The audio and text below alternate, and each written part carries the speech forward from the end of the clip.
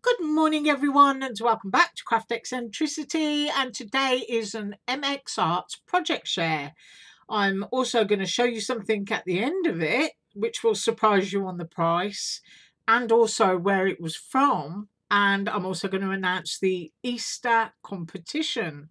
Right, so first up, I've used let me grab it from my hand here. The um, Skinny Dex, which I designed, this is available at MX-Art. Comes with the little circles which fit the Dollar Tree packaging. And you also get hexagons so that, you know, you can have all summery bee themes and stuff going on there if you want to. I've used one of the birthday cakes, which is embossed with happy birthday.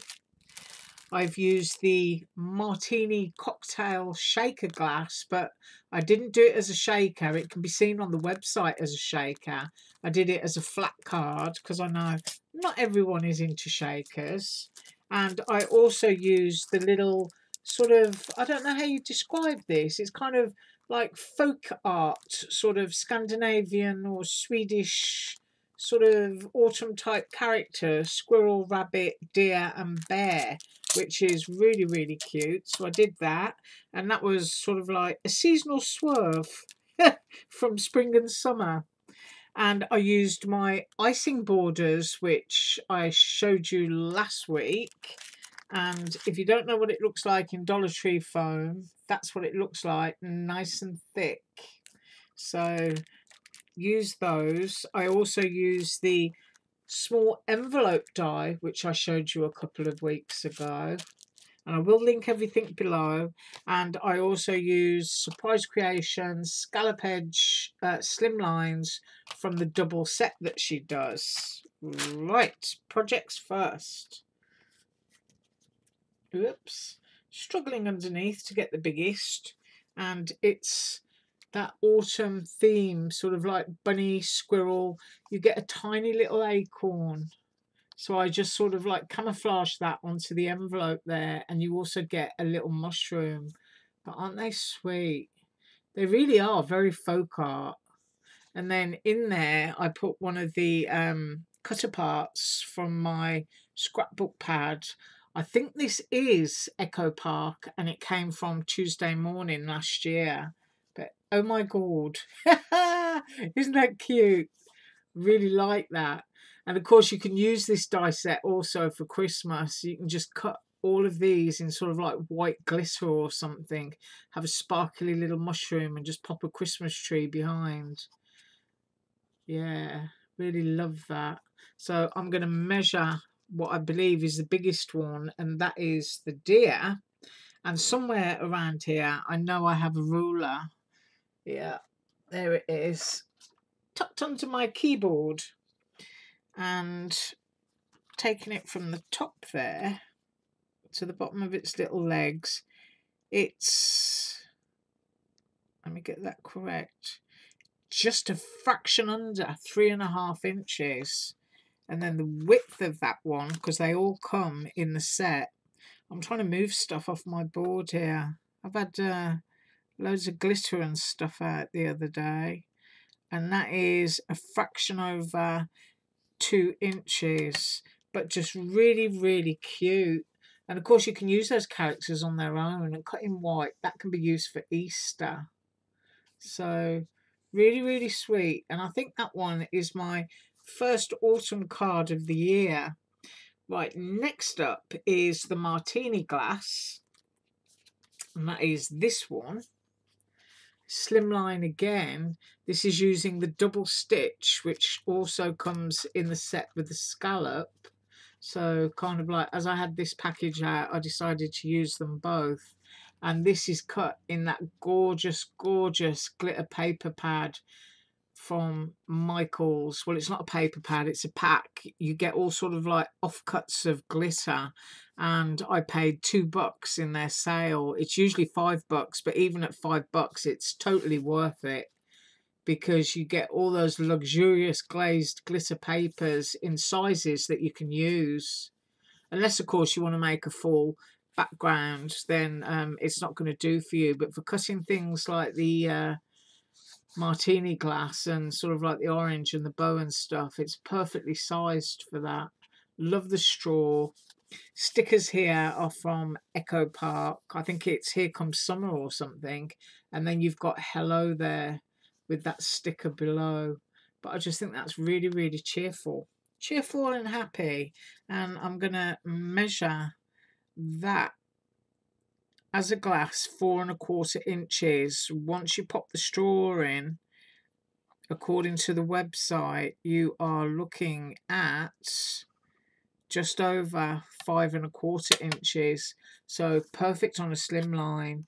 But you've got a great border. I'll put my finger there so that you can get your tape in for doing um, a shaker die. So it's not one of those little finickety, trickety ones you can actually um, get your hands on it and make it nicely. This background paper I also believe is Echo Park from the same pack as the stickers. So that's that one. Next up is the birthday cake. All chunky and all done in Dollar Tree foam board. You can see how nice and thick that is. And there's those icing borders done in the Dollar Tree foam. I just absolutely love this one. I think this one is my favourite because it does. It just looks like the piped icing you get around the edge of your cake. And then all of this cut in Dollar Tree foam as well. It embosses happy birthday. You've got little candles up at the top. Teeny tiny. Put my finger there so you can see how small they are. And this is on the Skinny Dex card. So I'm going to measure that cake three inches and go up to where the candles are two and a half inches so I've done that as per the website right so those are my three MX art projects for today now I do know tomorrow I'm going to be up with some more Eiffel store that's taking us into Thursday but what I wanted to show you was these now, I got these from Tuesday morning. I love them because they keep all your sequins neat and tidy. Um, you can buy as many sets as you want and you can stack them up. And they're three ninety nine for a set of, I think it's either three or four containers at Tuesday morning. I've got a feeling it might be three containers that you get for $3.99. So I was in Walmart on, um, when was it? Saturday and Walmart do them. They are exactly the same. They are identical in size, in the lid, in everything. And these are a set of four. Are you ready? For a dollar ninety-seven. And they do them in different sizes. So if you've got small collections of like little jump rings or tiny little seed beads and things like that, then they're just going to be absolutely brilliant. I was actually shocked when I saw them in Walmart because I thought it was just We Are Memory Keepers that did them, but they are absolutely identical. I got them thinking they're going to be inferior quality. They're not going to be as good as, and they're not going to be as big as, but they're identical. So when you're in Walmart, make sure you grab yourself some because they are brilliant for keeping, you know, sort of everything organised and tidy. And here's what they look like empty. I'm going to fill those up in a minute because I've got like 30 bags of sequins that I need to do. But they're just great because they don't get dusty. They stay nice and clean. And they take up such a small footprint on a shelf. So there you go. You get this one is the um, the largest size, and I will actually measure that across there so that you know what you're looking for. Sometimes I actually put a tape measure in my bag when I'm going shopping. They're two and three quarter inches across, and they are ooh an inch deep. So they're just brilliant, and they're half the price of Tuesday morning, and. Uh, I don't know how much cheaper they are than other websites like scrapbook.com and whatnot. Maybe up to $4 cheaper per set. So make sure you get yourself some of those. Right, next thing is the Easter competition. Now, if you remember the Christmas competition, it was a long one. It was for 12 projects and the prizes were quite large. It was a £3 weight of dies, a £2 weight of dies, and a £1 weight of dies.